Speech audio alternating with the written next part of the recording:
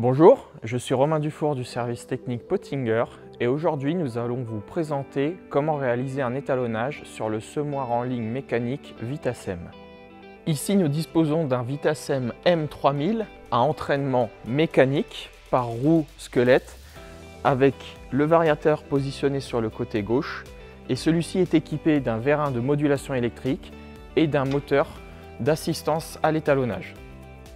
Pour réaliser l'étalonnage, nous aurons besoin de plusieurs équipements qui sont fournis sur le côté droit du semoir.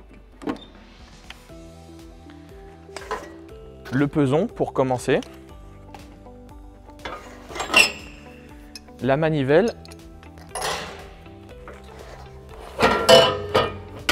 Ainsi que le sac. À présent que nous avons le matériel nécessaire, nous allons pouvoir le mettre en place.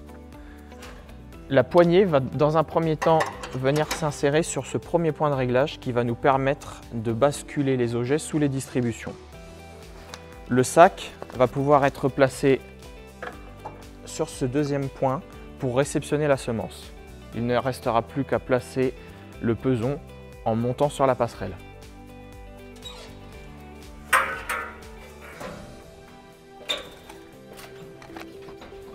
Pour fixer le peson, un support dépliable se situe à l'intérieur de la trémie.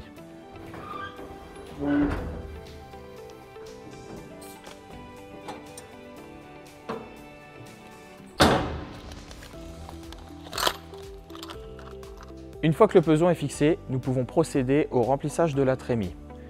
Pour les journées de travail longues, un phare permet d'éclairer l'intérieur de la trémie. Des grilles amovibles peuvent être basculées en fin de chantier pour nettoyer le fond et celles-ci sont creuses afin de stocker des sacs de semences. À présent que la trémie est remplie, nous allons procéder à l'étalonnage. Pour commencer, nous allons ouvrir les objets. Étant déjà sur la passerelle, nous allons en profiter pour régler le linguet. Celui-ci a un réglage centralisé au milieu du semoir. A l'aide du tableau présent dans la trémie, nous pouvons observer le réglage du linguet en fonction de notre culture. Ici, pour du blé, la position doit être à 0. Pour information, le réglage du linguet est de 0 pour la plupart des céréales et le colza. Il sera nécessaire de l'ouvrir plus pour des graines de taille plus grosse comme des pois ou des févroles. Également à partir de notre tableau situé dans la trémie, nous pouvons vérifier le bon réglage de l'ouverture de nos trappes. Ici pour du blé, la petite trappe rouge doit être fermée et la grande trappe blanche ouverte.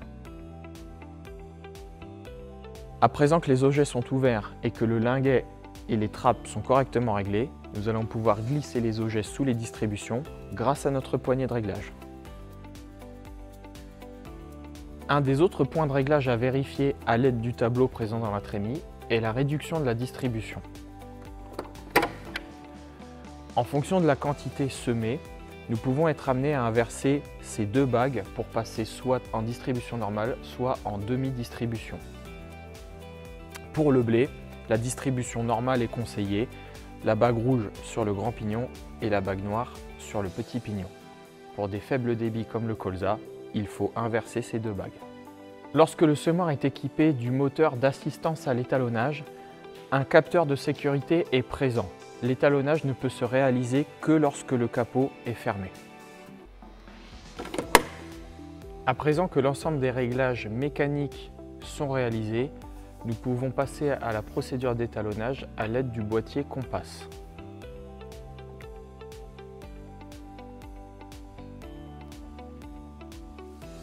Pour ce faire, il suffit de rentrer dans le menu dédié à cet effet, symbolisé par la poignée de réglage. La première étape qui nous est demandée est la quantité hectare. Les flèches nous aident à modifier le chiffre. On valide l'étape en restant appuyé sur la touche Menu OK. La seconde étape consiste à indiquer au semoir sur quelle surface nous voulons réaliser l'étalonnage. Quatre possibilités, un dixième, un vingtième, un quarantième ou un centième. Un tableau présent dans la notice d'utilisation permet d'indiquer quelle est la surface la plus appropriée en fonction de la quantité hectare voulue. Nous validons l'étape avec la touche Menu OK. Cette étape permet d'indiquer à quelle position nous réglons le variateur. Le tableau de réglage présent dans la trémie permet d'indiquer un réglage de base en fonction de la quantité hectare et de l'écartement de rang de nos éléments semeurs.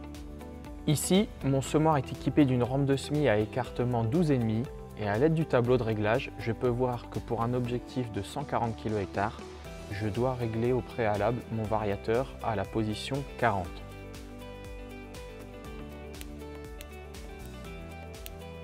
Je valide l'étape avec la touche menu OK.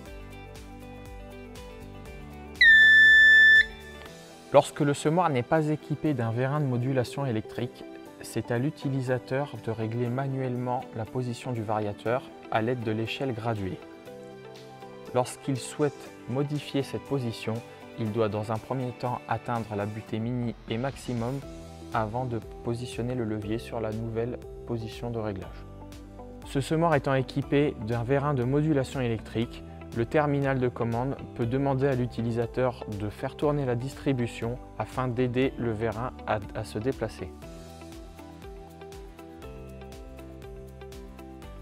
Une fois le vérin arrivé à la position souhaitée, l'étape suivante s'affiche automatiquement.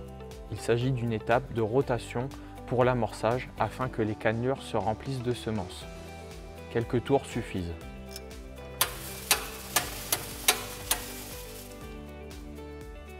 On valide cette étape en appuyant sur la touche menu OK. Une fois l'amorçage effectué, ne pas oublier de vider les objets avant de passer à l'étape d'étalonnage. Le terminal indique alors le nombre de tours à réaliser en fonction de la surface d'étalonnage sélectionnée au préalable. Ici, 75 tours pour un quarantième d'hectare. Lorsque le semoir est équipé d'un moteur d'assistance à l'étalonnage, un bouton permet de lancer la procédure sans avoir à utiliser la poignée. L'utilisateur doit juste rester appuyé sur le bouton jusqu'au signal sonore de fin. Lorsque le semoir n'est pas équipé du moteur d'assistance à l'étalonnage, l'utilisateur doit réaliser lui-même la rotation des tours grâce à la poignée de réglage. Pour un réglage fiable et précis, il est important que l'utilisateur effectue les tours de manière régulière.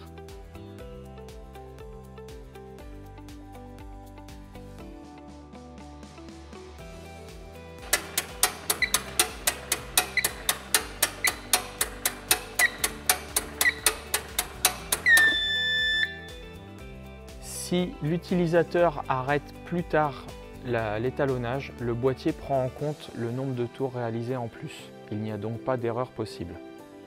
Une fois les tours effectués, il est important, avant de peser la semence, de faire la tare du sac.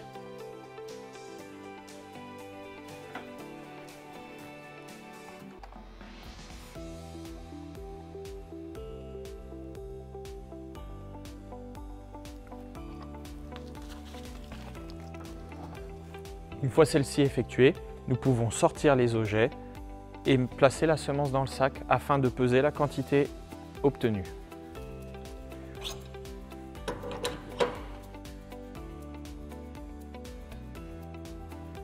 Les objets sont situés sur une glissière pour faciliter le réglage.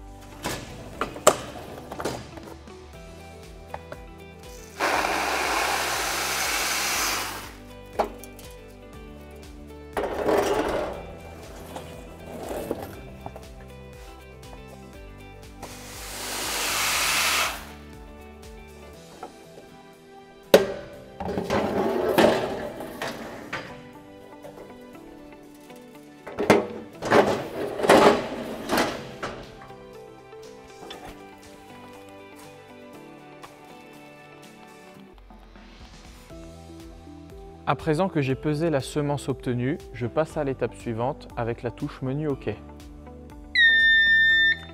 Le terminal m'affiche la quantité théorique qu'il pense avoir distribuée. À l'étape suivante, je vais rentrer la quantité réelle, ici 3,94 kg.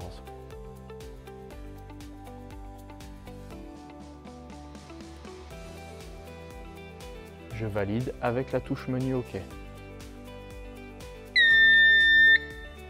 Le terminal m'indique alors la nouvelle position du variateur afin d'obtenir la quantité souhaitée. Ici, la position 36. Je valide avec la touche menu OK. Et le vérin va se placer au repère 36. Il est possible que le terminal demande à l'utilisateur de faire tourner la distribution pour aider le vérin à atteindre sa nouvelle position. Le processus d'étalonnage est à présent terminé. Il ne reste à l'utilisateur qu'à ranger les accessoires et de refermer les objets pour aller travailler.